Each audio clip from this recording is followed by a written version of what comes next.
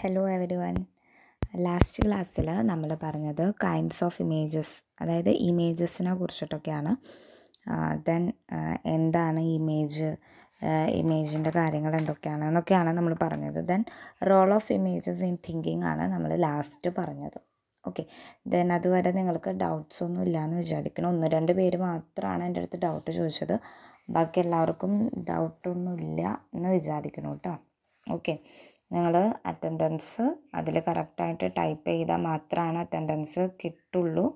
അല്ലാത്തവർക്ക് അറ്റൻഡൻസ് ഉണ്ടായിരിക്കില്ല കേട്ടോ അത് പതിനഞ്ച് മിനിറ്റിന്റെ ഉള്ളിൽ ആ വീഡിയോ പോസ്റ്റ് ചെയ്ത് കഴിഞ്ഞ് പതിനഞ്ച് മിനിറ്റിന്റെ ഉള്ളിൽ നിങ്ങളുടെ ടൈം ടേബിൾ അനുസരിച്ച്. ഓക്കെ ദെൻ അപ്പോൾ നമുക്കിന്ന് ക്ലാസ്സിലേക്ക് കിടക്കാം. Role of images in thinking okay തിങ്കിങ്ങിൽ എങ്ങനെയാണ് നമ്മളുടെ ഇമേജസിന്റെ റോൾ വരുന്നത്? ഓക്കെ ഇമേജസ് എന്ന് പറയുന്നത് are basic tools of thinking നമ്മൾ എന്ത് കാര്യം ചിന്തിക്കുകയെന്നുണ്ടെങ്കിലും എന്താണ്? നമ്മൾ ആ ഒരു കളർഫുള്ളായിട്ടാണ് ചിന്തിക്കുന്നത് അല്ലേ? നമ്മൾ എന്ത് കാര്യം ചിന്തിക്കുകയെന്നുണ്ടെങ്കിലും ഇപ്പോൾ നിങ്ങൾ ക്ലാസ്സിൽ നാളെ ഇരിക്കണം എന്നുള്ളത് നിങ്ങൾ ചിന്തിക്കുന്നുണ്ടെങ്കിൽ എങ്ങനെയായിരിക്കും?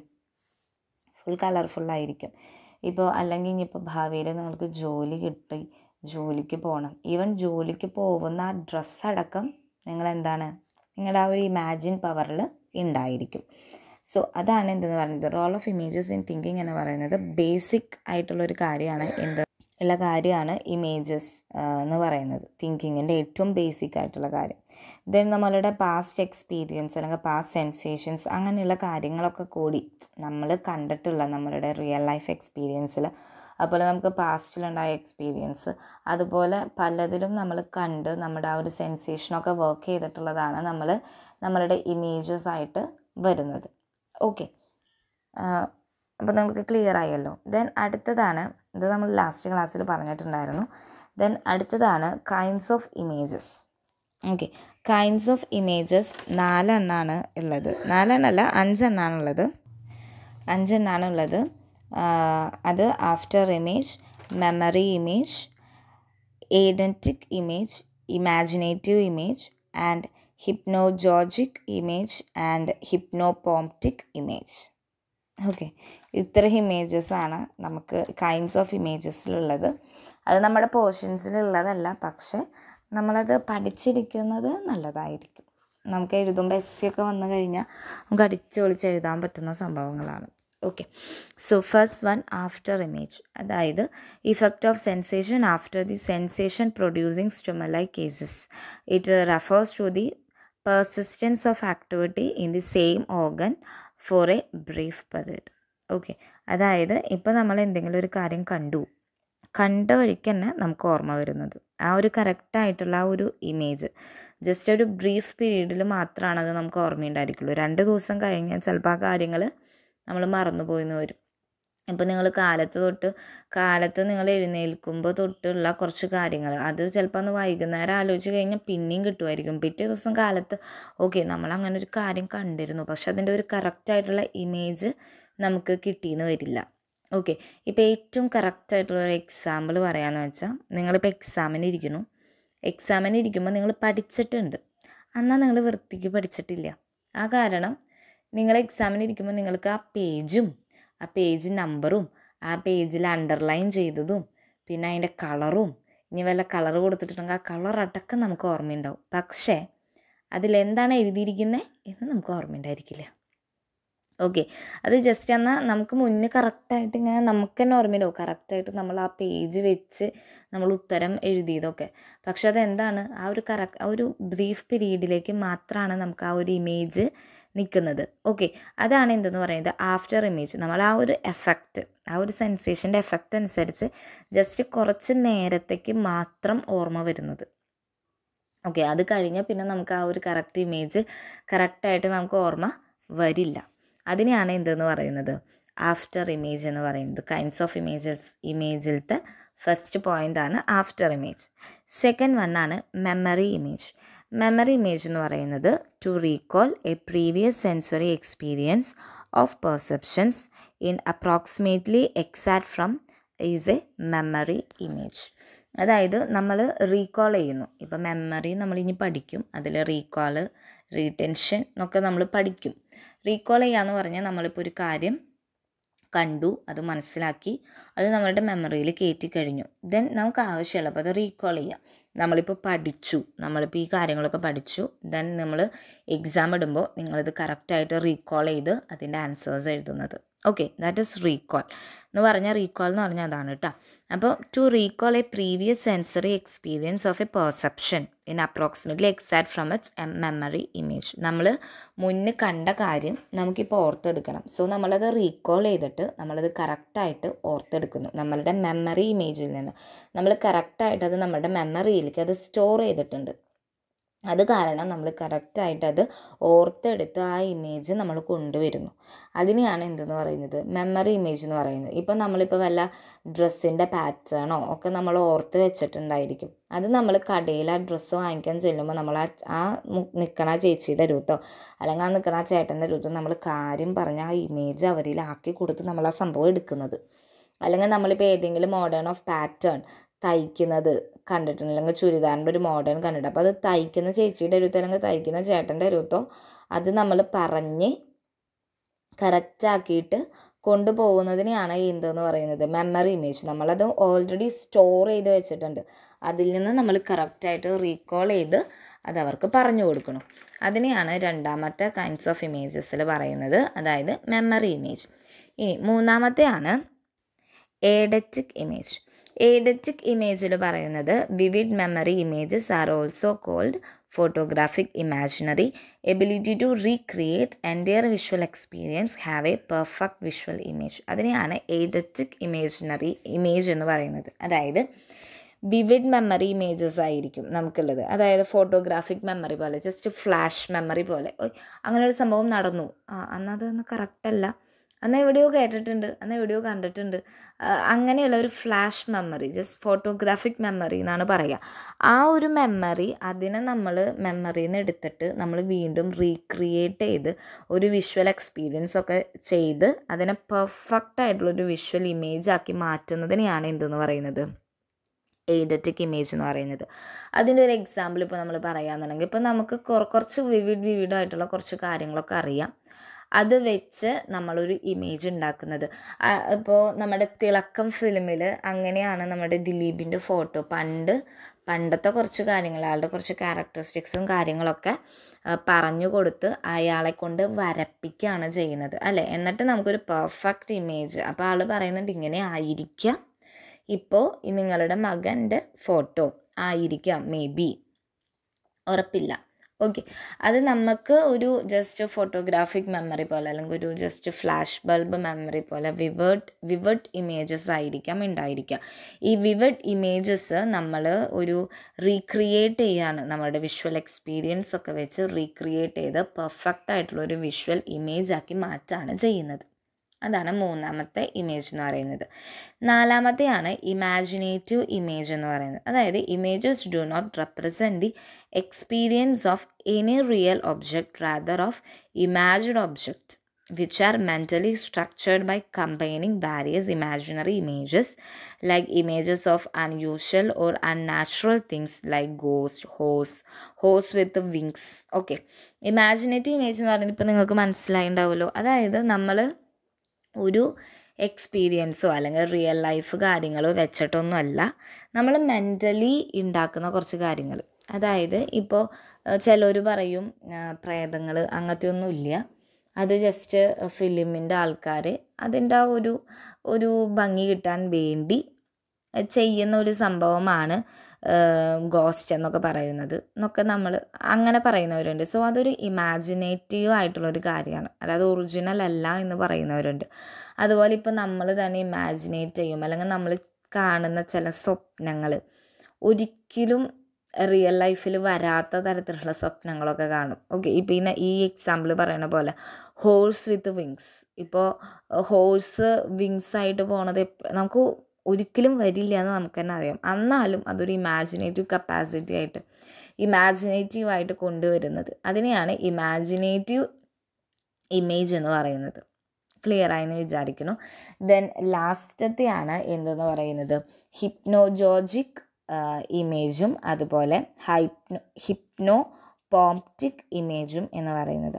ഹിപ്നോജോജിക് എന്ന് പറയുന്നത് it occurs during drowsy state അതായത് ഇപ്പം വാക്കിങ്ങോ സ്ലീപ്പിങ്ങോ അതായത് നമ്മൾ കറക്റ്റായിട്ടുള്ള ഒരു അവെയർനെസ്സിലായിരിക്കില്ല എന്നാൽ നമ്മൾ വിളിച്ചാൽ വിളി കേൾക്കും അങ്ങനെയുള്ളൊരു രീതി. ഡ്രൗസി സ്റ്റേജ് എന്ന് പറയുന്ന സ്റ്റേജ് അതാണ്. ഓക്കെ നമ്മളുടെ ഈ അൺകോൺഷ്യസ് മൈൻഡ് എന്നൊക്കെ പറയുന്ന എന്നാൽ മിഡിൽ ആയിട്ടുള്ള ഒരു മൈൻഡിനെയാണ് എന്തെന്ന് പറയുന്നത്. നമ്മളെ വിളിച്ചാൽ നമ്മൾ വിളി കേൾക്കും എന്നാൽ നമ്മളത്ര ഓർമ്മയിലല്ല. ഓക്കെ ആ ഒരു സ്റ്റേജിലാണ് ഈ ഒരു ഇമേജസ് ഉണ്ടാവുക. അത് just before one falling deep sleep അതായത് കറക്റ്റായിട്ടുള്ളൊരു ഡീപ്പ് സ്ലീപ്പിലേക്ക് പോകുന്നതിനേക്കാൾ മുന്നേ ഉള്ള ഒരു ഡ്രൗസി സ്റ്റേറ്റ് ഉണ്ട്. ആ സ്റ്റേറ്റിൽ വരുന്നതാണ് എന്തെന്ന് പറയുന്നത്? ഹിപ്നോജോജിക് ഇമേജ് എന്ന് പറയുന്നത്. ഇപ്പം ഈ ഒരു സ്റ്റേറ്റാണ് നമ്മൾ എന്തിലേക്ക് യൂസ് ചെയ്യുന്നത്? ഹിപ്നോസിസിനൊക്കെ യൂസ് ചെയ്യുന്നത് അങ്ങനെയുള്ളൊരു സ്റ്റേജാണ് നമ്മൾ പറയുന്നത് അവർക്ക് കേൾക്കണം അതിന് റെസ്പോണ്ട് ചെയ്യാനും പറ്റണം. എന്നാൽ ഡീപ്പ് സ്ലീപ്പിലേക്ക് പോവാനും പാടില്ല. ഓക്കെ ആ ഒരു സ്റ്റേജിൽ വരുന്ന ഇമാജിനേറ്റീവ് ആയിട്ടുള്ള കാര്യങ്ങളെയാണ് എന്തെന്ന് പറയുന്നത്? ഹിപ്നോജോജിക് ഫീൽ ഇമേജ് എന്ന് പറയുന്നത്. ഇപ്പോൾ നിങ്ങൾക്ക് ചിലപ്പോൾ നിങ്ങൾക്ക് ഓർമ്മയുണ്ടാവും നിങ്ങൾക്ക് എഴുന്നേൽക്കണം എന്നുണ്ടെന്ന് എഴുന്നേൽക്കാൻ പറ്റുന്നില്ല. ഉറക്കത്തിൽ നിന്നൊക്കെ നമുക്ക് കാലൊക്കെ അങ്ങോട്ടും കൂടെ അനക്കണം എന്നുണ്ട് പക്ഷേ അനക്കാൻ പറ്റുന്നില്ല കണ്ണ് തുറക്കാൻ പറ്റുന്നില്ല. അങ്ങനെയുള്ളൊരു ഫീലൊക്കെ നിങ്ങൾക്ക് കിട്ടിയിട്ടുണ്ടാവാം. ഓക്കെ സോ അതൊക്കെ ഈ ഒരു ഡീപ്പ് സ്ലീപ്പിൽ എന്നാൽ ഡീപ്പ് സ്ലീപ്പ് കഴിഞ്ഞിട്ടുള്ള ഒരു ടൈം ആയിരിക്കും. അല്ലെങ്കിൽ ഡീപ്പ് സ്ലീപ്പിലേക്ക് പോകുന്ന ഒരു ടൈം ആയിരിക്കും. ആ ടൈമിൽ കാണുന്ന ഇമാജിനേറ്റീവ് കപ്പാസിറ്റി ആ ഒരു ഇതിനെയാണ് ആ ഇമേജസിനാണ് ഇങ്ങനെ പറയുന്നത്. ദെൻ ഹിപ്നോ പോംപ്റ്റിക് ഇമേജ് എന്ന് പറയുന്നത് ഈ occurs between sleeping and waking ഇതും ഉറക്കത്തിലും നട നടന്നുകൊണ്ടിരിക്കുമ്പോഴൊക്കെയാണ് ഈ ഒരു ഫീൽ ഉണ്ടാവുക. ഈ ഇമേജസ് എന്ന് പറയുന്നത് ഒരു വിവിഡ് നേച്ചർ ആയിരിക്കും. ഓക്കെ ഇത് വിഷ്വലാവാം ഇറ്റ് മേ ബി വിഷ്വലാവാം ഓഡിറ്ററി ആവാം എന്ത് വേണമെങ്കിലാവാം. പക്ഷേ ഇത് മെയിനായിട്ട് ഡ്രഗ് അഡിക്ട്സിലും അതുപോലെ എന്തെങ്കിലും അബ്നോർമാലിറ്റീസ് അല്ലെങ്കിൽ ഹാലൂസിനേഷൻസ് ഒക്കെ ഉള്ളവരിലാണ് എന്ത് കാണുന്നത്? ഹിപ്നോപോംപ്റ്റിക് ഇമേജസ് കാണപ്പെടുന്നത്. ഓക്കെ.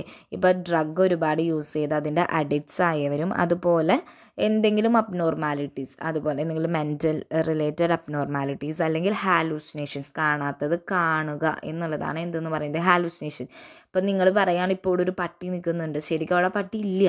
എന്നിട്ട് അവിടെ ഒരു പട്ടി നിൽക്കുന്നുണ്ട് എന്ന് പറയുമ്പോൾ ദാറ്റ് ഈസ് ഹാലൂസിനേഷൻ അങ്ങനെയുള്ളവരിലാണ് എന്ത് കാണുന്നത്? ഈ ഹിപ്നോപോംപ്റ്റിക് ഇമേജസ് കാണപ്പെടുന്നത് എന്നാണ് പറയുന്നത്. Okay so kinds of images എന്തൊക്കെയാണെന്ന് ക്ലിയർ ആയി എന്ന് വിചാരിക്കുന്നു. After image memory image eidetic image imaginative image hypnagogic image and hypno hypnopompic image okay then അപ്പോൾ ഇമേജസ് നമ്മുടെ കഴിഞ്ഞു. ദെൻ അടുത്തത് നമ്മൾ പോകുന്നത് വോൺ ടു ലാംഗ്വേജ് ലാംഗ്വേജ് എന്ന് പറയുന്നത് ഒരു ബേസിക് നേച്ചറാണ് അല്ലേ? ലാംഗ്വേജ് ലാംഗ്വേജ് ഇല്ലാതെ നമുക്ക് ഊഹിക്കാൻ കൂടി പറ്റില്ല. നമ്മൾ കമ്മ്യൂണിക്കേറ്റ് ചെയ്യുന്നത് എന്താണ്? ലാംഗ്വേജ് വെച്ചിട്ടാണ് അല്ലേ? സോ ലാംഗ്വേജ് എന്ന് പറയുന്നത് it's a system of symbols plus rules for combining them use to communicate information നമുക്ക് കമ്മ്യൂണിക്കേറ്റ് ചെയ്യാനും കാര്യത്തിനൊക്കെ ആയിട്ട് നമ്മൾ സിമ്പിൾസ് അല്ലെങ്കിൽ കമ്മ്യൂണിക്കേഷന്റേതായ റൂൾസ് കാര്യങ്ങളൊക്കെ കമ്പൈൻ ചെയ്ത് യൂസ് ചെയ്യുന്ന ഒരു സംഭവമാണ് എന്തെന്ന് പറയുന്നത്? ലാംഗ്വേജ് എന്ന് പറയുന്നത്. Okay words and sentences in language must carry meaning നമ്മൾ ഉപയോഗിക്കുന്ന വേർഡ്സ് ആയാലും നമ്മൾ ഉപയോഗിക്കുന്ന സെന്റൻസുകളായാലും എന്താണ്? ആ ലാംഗ്വേജസ് ഒക്കെ എന്ത് ക്യാരി ചെയ്യുന്നുണ്ട്? കറക്റ്റായിട്ടുള്ള മീനിങ് ക്യാരി ചെയ്യുന്നുണ്ട്. അതുപോലെ സെന്റൻസസ് എന്ന് പറയുന്നത് must be able to convey information about other places and other times നമ്മൾ ഓരോ കാര്യങ്ങളും കൺവേ ചെയ്യുന്നത് കറക്റ്റായിട്ടുള്ള മീനിങ് കൂടിയാണ്. അതായത് ഇപ്പോൾ ഒരു പ്ലേസിനെ കുറിച്ചുള്ള കാര്യങ്ങൾ നമുക്ക് പറയാം. അല്ലെങ്കിൽ ഒരു ടൈമിനെ കുറിച്ചോ അല്ലെങ്കിൽ ഒരു ഒബ്ജക്റ്റിനെ കുറിച്ചുള്ള എന്നുള്ള കാര്യങ്ങളും ഇൻഫോർമേഷൻസും കറക്റ്റായിട്ട് ക്യാരി ചെയ്യുന്ന സംഭവമാണ് എന്തെന്ന് പറയുന്നത്. അല്ലെങ്കിൽ കൺവേ ചെയ്യുന്ന ഒരു കാര്യമാണ് എന്തെന്ന് പറയുന്നത്. ലാംഗ്വേജസ് അല്ലെങ്കിൽ ലാംഗ്വേജസിൽ ഉപയോഗിക്കുന്ന സെന്റൻസസ് എന്ന് പറയുന്നത്. ഓക്കെ അതുപോലെ language to be applied to a system of communication language എന്ന് പറയുന്നത് നമ്മൾ എന്തിനാണ് യൂസ് ചെയ്യുന്നത്? കമ്മ്യൂണിക്കേറ്റ് ചെയ്യാനാണ്. ഓക്കെ ഓരോരുത്തർ തമ്മിൽ അങ്ങോട്ടും ഇങ്ങോട്ടും കമ്മ്യൂണിക്കേറ്റ് ചെയ്യാൻ. ഇപ്പം ഞാൻ നിങ്ങളുടെ അരുവത്ത് എങ്ങനെയാണ് കമ്മ്യൂണിക്കേറ്റ് ചെയ്യുന്നത്? എന്റെ ലാംഗ്വേജ് വെച്ചിട്ടാണ്. ഓക്കെ ഞാൻ മലയാളം പറയുന്നുണ്ട് സെന്റൻസുകൾ ഇംഗ്ലീഷിൽ പറയുന്നുണ്ട്. സോ എല്ലാ കാര്യങ്ങളും നമ്മൾ ഇംഗ്ലീഷും മലയാളം എന്ന് പറയുന്ന രണ്ട് ലാംഗ്വേജ് യൂസ് ചെയ്തിട്ടാണ് നമ്മൾ ക്ലാസ്സസ് എടുക്കുന്നത്. അല്ലെങ്കിൽ നിങ്ങളായിട്ട് കമ്മ്യൂണിക്കേറ്റ് ചെയ്യുന്നത്. ഓക്കെ നമ്മൾ മൊത്തം മലയാളമല്ല പറയുന്നത്. ഇൻ ദ സെയിം സെൻസ് നമ്മൾ യൂസ് ചെയ്യുന്നുണ്ട്. എന്ത് ഇംഗ്ലീഷ് യൂസ് ചെയ്യുന്നുണ്ട്. സോ രണ്ട് ലാംഗ്വേജസ് വഴിയാണ് നമ്മൾ കമ്മ്യൂണിക്കേറ്റ് ചെയ്യുന്നത്. ഓക്കെ സോ ഈ കമ്മ്യൂണിക്കേഷൻ എന്ന് പറയുന്നത് നമ്മൾ കമ്മ്യൂണിക്കേഷന് വേണ്ടി ഉപയോഗിക്കുന്ന ഒരു സിസ്റ്റമാണ് എന്ത് ലാംഗ്വേജ് അത് ക്ലിയർ ആയല്ലോ? സോ ലാംഗ്വേജ് രണ്ടെണ്ണം ഉണ്ട് ഒന്ന് language production and language comprehension രണ്ടായിട്ടാണ് divide ചെയ്തിരിക്കുന്ന language first one language production and second one language comprehension language production language production എന്ന് പറഞ്ഞാൽ എന്താ?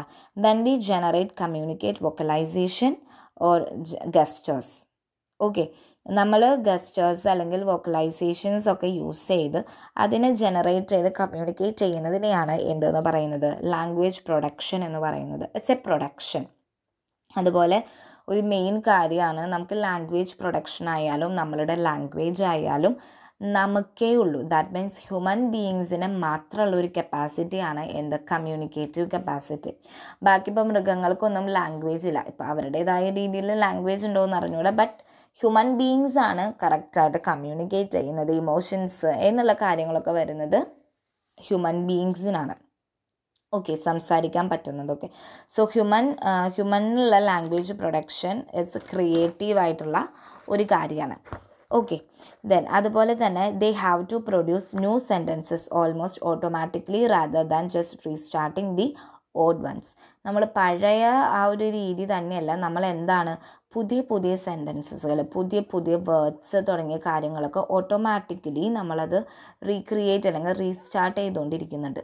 ഓക്കെ അതായത് ഇപ്പോൾ പണ്ട് എല്ലാവരും ഓക്കെ അല്ലേ? അല്ലെങ്കിൽ ശരിയല്ലേ? എന്ന് ചോദിക്കുന്ന സ്ഥലത്ത് ഇപ്പോൾ നമ്മൾ സെറ്റ് അല്ലേ? അല്ലെങ്കിൽ വേറെ രീതിയൊക്കെയാണ് ചോദിക്കുന്നത്. ഇപ്പോൾ ന്യൂജൻ ആയിട്ടുള്ള ഒരുപാട് വേർഡ്സ് ഉണ്ട്. പൊളിയല്ലേ? സെറ്റല്ലേ തകർക്കല്ലേ? അങ്ങനെയുള്ള അതൊക്കെ എന്താണ് ഗുഡ് അല്ലെങ്കിൽ നല്ല കാര്യം? നല്ല രീതിക്ക് മുന്നോട്ട് പോട്ടെ അല്ലെങ്കിൽ നല്ല രീതിക്ക് അത് അവസാനിച്ചില്ലേ? എന്നുള്ള ഒരു മീനിങ് ഒക്കെയാണ് എന്ത്? ഇപ്പോഴത്തെ ഒരുപാട് വേർഡ്സ് അപ്പോൾ നമ്മൾ നമ്മൾ ഒരുപാട് സെന്റൻസുകൾ അല്ലെങ്കിൽ ഒരുപാട് രീതികൾ നമ്മൾ കൊണ്ടുപോകുന്നുണ്ട്. ഇപ്പോൾ ഇപ്പോഴത്തെ ഒരു രീതിയാണ് മച്ചാനെ അത് പൊളിയല്ലേ? അല്ലെങ്കിൽ മച്ചാനെ അത് പൊളിച്ചു. അതെന്താണ്? ഒരു ഇൻഡിവിജ്വലിനെ ആണ് മച്ചാൻ എന്നതുകൊണ്ട് നോക്കുന്നത്. സോ അങ്ങനെയുള്ള ഒരുപാട് ലാംഗ്വേജിൽ ഒരുപാട് പുതിയ പുതിയ ക്രിയേറ്റീവ് ആയിട്ടുള്ള വേർഡ്സ് സെന്റൻസ് ഒക്കെ യൂസ് ചെയ്യാനായിട്ട് തുടങ്ങിയിട്ടുണ്ട്.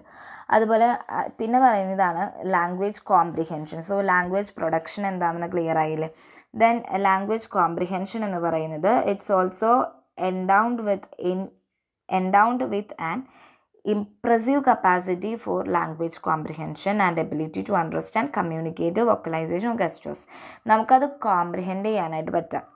ഇപ്പോൾ ഒരാൾ പുതിയൊരു ഭാഷ പറഞ്ഞു കഴിഞ്ഞാൽ ഓക്കെ ആ അത് ഇതാണ് അയാൾ ഉദ്ദേശിച്ചത് എന്ന് നമുക്ക് മനസ്സിലാക്കാനായിട്ട് പറ്റാം. അതാണ് എന്തെന്ന് പറയുന്നത്? ലാംഗ്വേജ് കോംപ്രിഹെൻഷൻ എന്നതുകൊണ്ട് ഉദ്ദേശിക്കുന്നത്. അതുപോലെ we can generally comprehend mispronounce words അതുപോലെ മിസ്പെൽഡ് വേർഡ് സെന്റൻസസ് അങ്ങനെയുള്ള കാര്യങ്ങളൊക്കെ നമുക്ക് പെട്ടെന്ന് മനസ്സിലാക്കാനും അത് കോംപ്രിഹെൻഡ് ചെയ്യാനൊക്കെ ആയിട്ട് നമുക്ക് പറ്റും. ഓക്കെ അപ്പോൾ എന്താണ് ലാംഗ്വേജ് എന്നുള്ളത് നിങ്ങൾക്ക് ക്ലിയർ ആയല്ലോ? ഇനി പറയുന്നത് നെക്സ്റ്റ് ആണ് structure of language structure of language നിങ്ങൾ ഫസ്റ്റ് സെമ്മിൽ നിങ്ങളുടെ റിൻസാ മിസ് പഠിപ്പിച്ച് തന്നിട്ടുണ്ടാവും.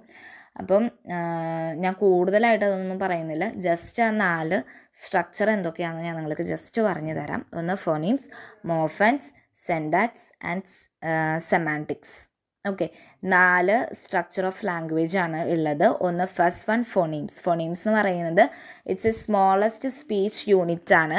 ലാംഗ്വേജിലുള്ള ഏറ്റവും സ്മോളസ്റ്റ് സ്പീച്ച് യൂണിറ്റ് ആണ്. അതുപോലെ ഇത് എന്ന് പറയുന്നത് ഇപ്പം നമ്മൾ ഹാറ്റ് എന്ന് പറയുകയാണെങ്കിൽ ത്രീ ഫോണീംസ് ആണ് അതിലുള്ളത്. ഫോണീംസിൽ ഹാറ്റ് എന്ന് പറയുമ്പോൾ എച്ച് എന്ന് പറയുന്നത് ഹ എന്നാണ് പറയുക. ഓക്കെ ടി എന്ന് പറയുന്നത് ച എന്നാണ് പറയുക. അപ്പോൾ സോ മൂന്ന് ഫോണീംസ് ആണ് ഹാറ്റിലുള്ളത് അതുപോലെ ഇംഗ്ലീഷ് ലാംഗ്വേജിൽ നോക്കുകയാണെങ്കിൽ ഫോർട്ടി ഫോർ ഫോണീംസ് ആണ് ഉള്ളത്. ഒന്ന് twenty vowels twenty four consonants okay alphabets twenty six അങ്ങനെയാണ് ഫോണീംസ് വരുന്നത്. Then next one morphemes morphemes എന്ന് പറയുന്നത് they are smallest unit of meaning in language ഒരു മീനിങ് വെച്ച് നോക്കുകയാണെന്നുണ്ടെങ്കിൽ അത് ഏറ്റവും സ്മോളസ്റ്റ് ആയിട്ടുള്ള ഒരു മീനിങ് ഇൻ ലാംഗ്വേജ് ആണ് എന്തെന്ന് പറയുന്നത്? മോഫൻസ് എന്ന് പറയുന്നത്. ഇറ്റ്സ് അൺഫ്രണ്ട്ലി എന്ന് പറയുകയാണെന്നുണ്ടെങ്കിൽ അൺ എന്ന് പറയുന്നത് പ്രൊഫിക്സ് ദെൻ ഫ്രണ്ട് എന്ന് പറയുന്നത് റൂട്ട് വേർഡ് ആൻഡ് ലീ എന്ന് പറയുന്നത് സഫിക്സ് അങ്ങനെ ത്രീ മോഫൻസ് ആണ് ഉള്ളത്. ദെൻ സെമാന്റിക്സ് സെമാന്റിക് എന്ന് പറയുകയാണെന്നുണ്ടെങ്കിൽ it's understanding the meaning of words and words combinations നമ്മളിപ്പോൾ ഡെസ്റ്റിനേഷൻ എന്നും ചിലർ പറയും. The same time last stop എന്നും പറയും. രണ്ടും എന്താണ്? ഒരേ മീനിങ് തന്നെയാണ് ക്യാരി ചെയ്യുന്നത്. അതാണ് കമ്പൈനിങ് വേർഡ്സ് അല്ലെങ്കിൽ വേർഡ്സ് ടു വേർഡ്സ് എന്ന് പറയുന്നത്. ദെൻ സിൻഡാക്സ് സിൻഡാക്സ് എന്ന് പറയുന്നത് is a system of rules that specify how words can be arranged into sentences എങ്ങനെയാണ് അത് അറേഞ്ച് ചെയ്യുന്നത്? ഒരു മീനിങ് ഫുൾ വേർഡായിട്ട് അത് അറേഞ്ച് ചെയ്യാണ്. എക്സാമ്പിൾ പറയുകയാണെങ്കിൽ the sky is pink the dog loves her owner I enjoyed college അതൊക്കെ എന്താണ്? Correct ഒരു സെന്റൻസ് ആണ്. മീനിങ് ഫുൾ ആയിട്ടുള്ള സെന്റൻസുകളാണ് ദാറ്റ് ഈസ് സിൻഡാക്സ് അങ്ങനെ നാല് സ്ട്രക്ചർ ഓഫ് ലാംഗ്വേജ് ആണുള്ളത്. ഒന്ന് ഫോണീൻസ് മോഫൻസ് സമാൻഡിക്സ് ആൻഡ് സിൻഡാക്സ് അങ്ങനെ നാലെണ്ണം. ഇനി ഇത് കൂടുതലായിട്ട് പറയുന്നില്ല. സ്ട്രക്ചർ ഓഫ് ലാംഗ്വേജ് നിങ്ങൾ വരുമ്പോൾ അത് നിങ്ങളുടെ റിൻസാമിസ് പഠിപ്പിച്ചിട്ടുണ്ട്. നിങ്ങൾക്കൊരു ലെസൺ അതായിരുന്നു അല്ലേ? സോ ഫസ്റ്റ് സെമ്മിലത്തെ ഫസ്റ്റ് ലെസൺ അതായിരുന്നു എന്നാണ് എന്റെ ഒരു അറിവ്. ഓക്കെ സോ നിങ്ങൾ അത് എന്തെങ്കിലും ഡൗട്ട് ഉണ്ടെങ്കിൽ ചോദിക്കാം. റിൻസാമിസിനെ കറക്റ്റായി നിങ്ങൾ പഠിപ്പിച്ചിട്ടുണ്ട് എന്നാണ് ഞാൻ അറിഞ്ഞത് റിൻസാമിസിനോട് ചോദിച്ചപ്പോൾ കറക്റ്റായിട്ട് അവർക്ക് അറിയാം അത് ഇനി അവർ അവരുടെ അടുത്ത് ഒന്നും പറയണ്ടെന്ന് പറഞ്ഞ്. എന്നാലും ജസ്റ്റ് ഇത്ര മതി നമുക്ക് നമ്മുടെ സൈക്കോളജിയിൽ സോ ഈ നാല് കാര്യങ്ങൾ പഠിക്കുക അതിന്റെ എക്സാമ്പിൾസ് വെച്ച് പഠിക്കാം. സോ ഇത്ര കാര്യങ്ങളാണ് നമ്മൾ ഇന്നത്തെ ക്ലാസ്സിൽ നമ്മൾ ഉദ്ദേശിക്കുന്നത്. നാളെ നമ്മൾ ലാംഗ്വേജസ് നെക്സ്റ്റ് ക്ലാസ്സിൽ നമ്മൾ അടുത്തത് പറയും. സോ ഇതുവരെയുള്ളത് ക്ലിയർ ആയി എന്ന് വിചാരിക്കുന്നു. എന്തെങ്കിലും ഡൗട്ട് കാര്യങ്ങളുണ്ടെങ്കിൽ ചോദിക്കുക ഓക്കെ അപ്പോൾ താങ്ക്